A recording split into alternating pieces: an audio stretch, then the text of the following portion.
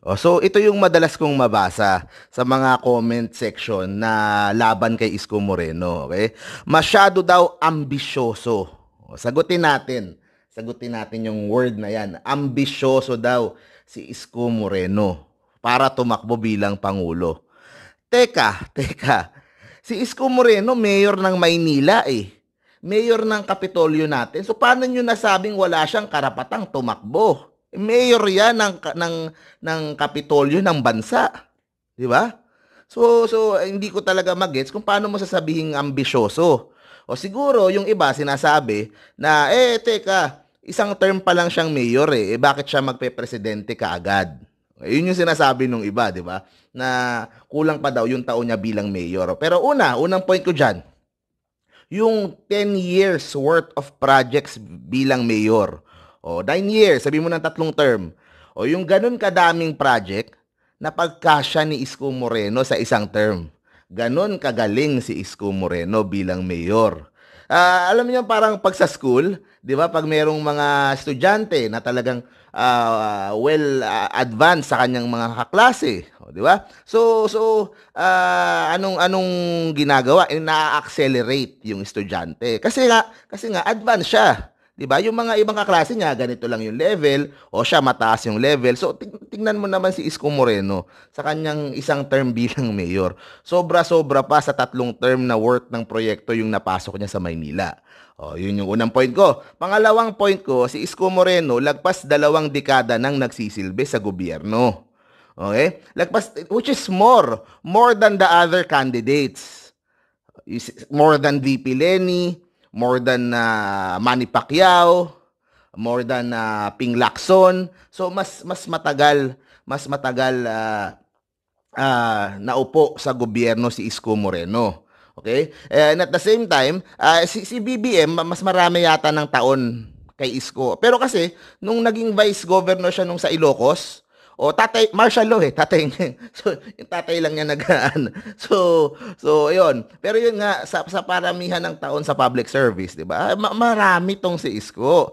And ang pinagkaiba niya, dun sa dalawang katunggali niya, tatlo-tatlo silang naglalaban ngayon eh. Ang pinagkaiba niya, si Isko Moreno had to go up the ranks. Hindi hindi binigay sa kanya yung posisyon niya. 'Di ba? Uh, para maging mayor, nagsimula siya 9 years na konsehal, 9 years na vice mayor. 'Di ba? Hindi siya yung bigla na lang naupo na lang bigla, 'di ba? Kasi wala naman siyang asawa na mayor, wala naman siyang tatay na presidente. 'Di ba? Wala siyang wala siyang ganoon. So, uh, he is like every uh, every other Pinoy na kailangan mong paghirapan talaga. Kailangan mong talagang uh, uh, you have to go through the ranks. Walang shortcut kay Isko Moreno. O tapos ngayon sasabihin nyo, ambisyoso siya.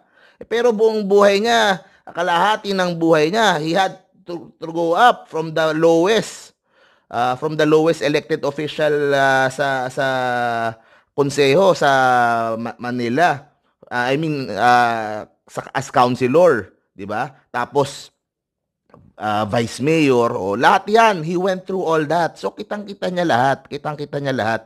Uh, so, yun, hindi ko din magets talaga kung ba't sabihin na ambisyoso. Eh, Isko Moreno, di ba, kalahati ng buhay niya nasa public service, binigay niya. Hindi lang mataas, kasi konsehal lang, eh, kasi nga, wala siya, wala siya nung mga sinabi ko. Hindi siya galing sa political family. Yung tatay niya, uh, Estibador Safier. O yung nanay niya, Labandera. O eh paano nga naman siya dada mag, magiging mayor kaagad? Paano siya magiging congresswoman kaagad? O paano siya magiging vice governor o go, governor kaagad? Wala siya nun lahat. So kailangan niya paghirapan ng sarili niya. O tapos sasabihin niyo ambisyo, ambisyoso si Isko.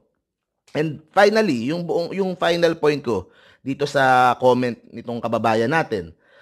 Ah, uh, kasi parang pinapalabas niya na ang may karapatan lang tumakbo ay yung mga nasa political family.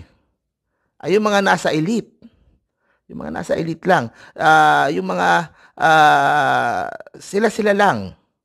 Yung mga uh, i-anoint lang ng uh, liberal party, ng mga Aquino. O parang yun lang ba yung may karapatang karapatang tumakbo bilang pangulo?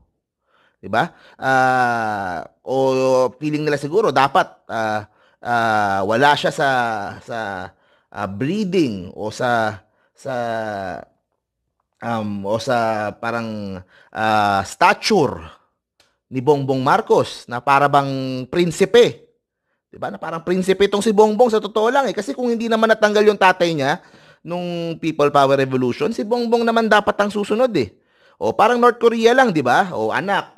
O tapos apo. O 'di ba? Pasa-pasa 'yan. So parang ganun 'yan, si Ferdinand, si Bongbong, si Sandro. Ganun lang dapat kung hindi nawala yung martial law nun.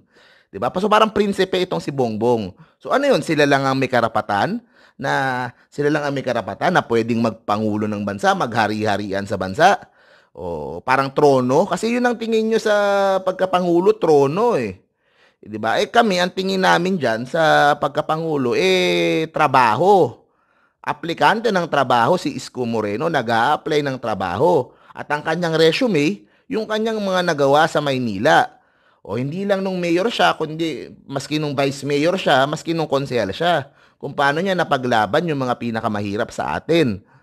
Yun ang problema eh, kasi ang tingin nyo sa pagka-presidente, dapat ganitong fam, ganitong family o ganitong para parating yung dinadown yung mga kababayan natin na galing sa hirap. 'Di ba? Syempre si Isko Moreno ma- maayos na ngayon, umasenso na ngayon. 'Di ba? Pero galing galing sa hirap, kaya nyo siguro nilu-look down. Eh hindi siya galing sa mayamang angkan, hindi siya galing sa uh, political family, hindi siya galing sa kung ano man. Nakarangyaan, 'di ba? He had to work his way up. Yun ang, yun ang, yun ang problema sa inyo. Na masyado yung nilulook down yung mga tao na galing sa hirap. 'Di ba? Na parang ang pakiramdam nyo, wala nang karapatan. O tingin nyo, artista lang. O tingin nyo, uh, ganito lang. O hanggang diyan ka lang. 'Di ba? So, yun ang yun ang problema eh. Yun ang problema eh. Uh, siguro merong iba din sinasabi dahil sa edad. Dahil sa edad ni Isko na 47 eh, sa ibang bansa, napatunayan nila na kahit 47, kayang maging magaling na pangulo o magaling na leader.